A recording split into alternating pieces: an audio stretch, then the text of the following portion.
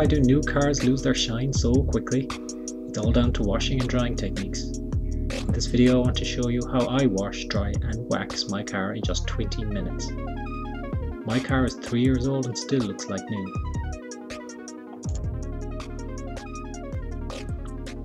Hello, my name is Mike from ShinyNewCar.com. Welcome to my first YouTube video. The good news is that it takes me just 20 minutes to wash, wax and dry my car. Maybe once or twice a year I'll give it a much more detailed wash, but for most washes it really takes just 20 minutes. The dust on this car looks like it could be just wiped off with an old rag, but this is exactly what you should not do because it will ruin your shine. The method I use is called the multi-mitt method. I use it because it's quicker and safer. I also use a pressure washer because it takes off a huge amount of dirt that could otherwise scratch my car. Brake dust stains wheels. You could try to get this off by scrubbing, but this will cause your alloy wheels to lose their shine. So I like to use a wheel cleaner every now and then to dissolve the brake dust. It removes brake dust with no effort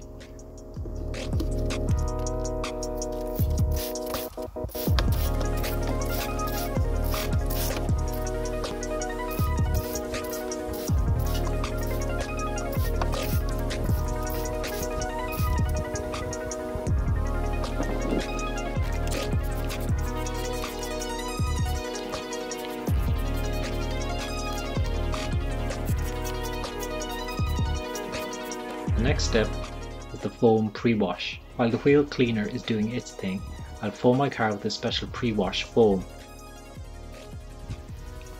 I apply the foam using my Karcher K5 full control pressure washer. This pressure washer is ideal for cars because it allows you to control the amount of pressure. It can deliver thick foam if that's what you want, and you can reduce the pressure when rinsing down your car, because too much pressure can damage bodywork. I use two foam cannons, one for the pre-wash and one for the contact wash, which I will show you later. You can of course use this pressure washer for many other things around your home.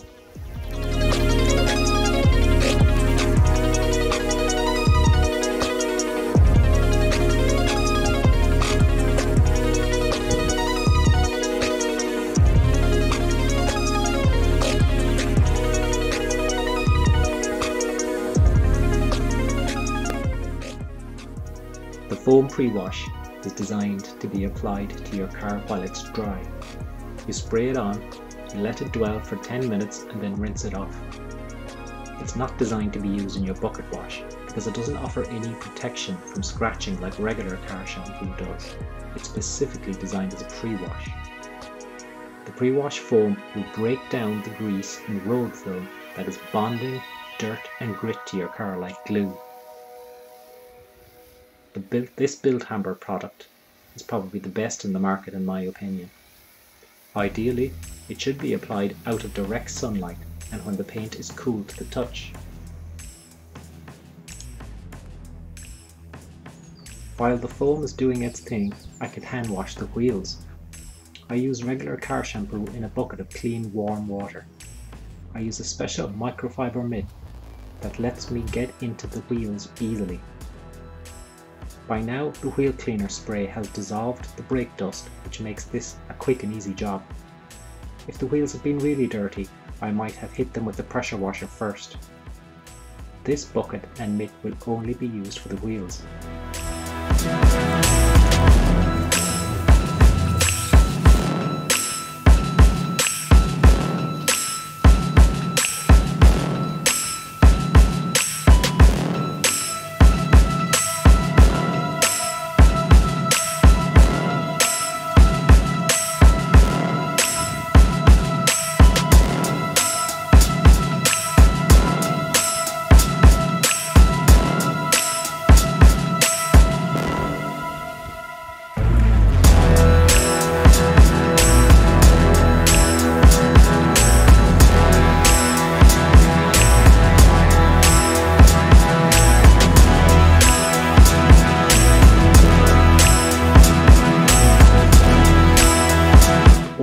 The pre-wash foam has been blasted off, the car looks almost completely clean.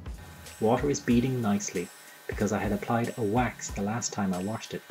This protective wax made it easier to clean now because it prevented dirt from bonding with the surface. The car might look clean now, but if I were to let it dry I would still see some dirt. And it's not clean enough to towel dry at this point.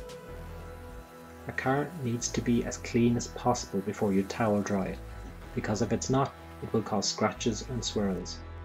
A good car shampoo should provide protection as well as cleaning power. This Bilt Hamber Auto Wash product offers both.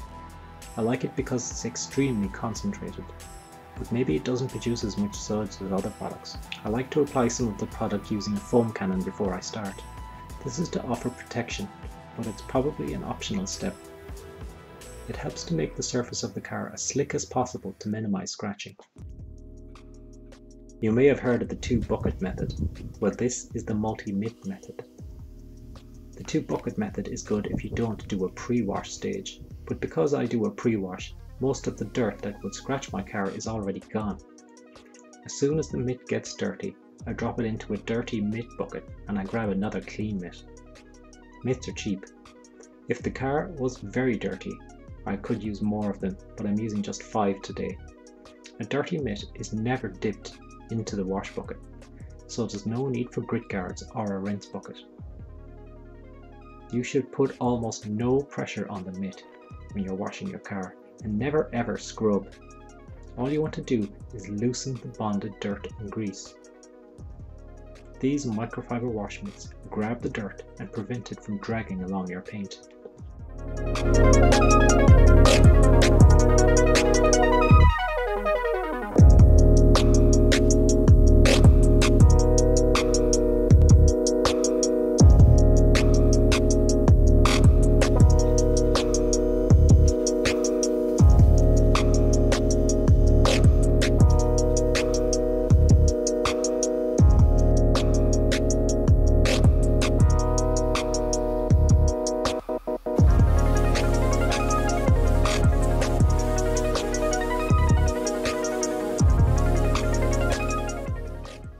Spray wax, like this one from Meguiar's, is super easy to apply.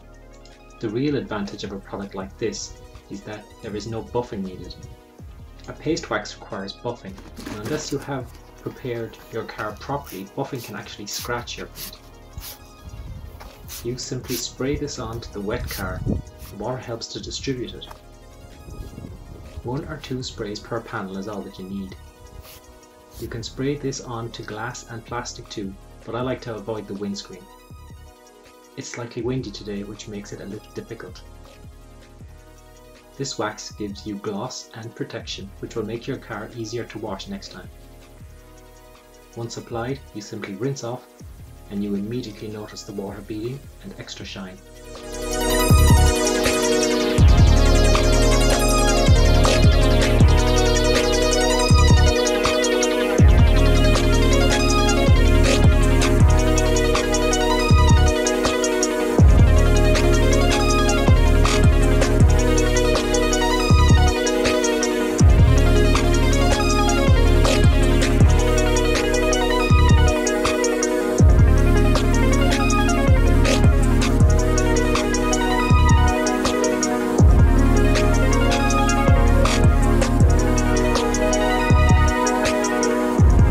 When it's time to dry your car, don't let your car dry naturally because you'll get water spots.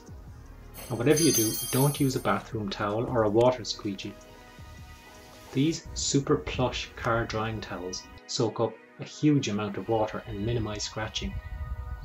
I use a detailer spray to add slickness and to reduce the risk of scratching. This Adams detailer spray also adds more shine and protection and doesn't need buffing. Probably the best way to dry your car, if you can afford one, is to get yourself a car dryer like the one in the description below.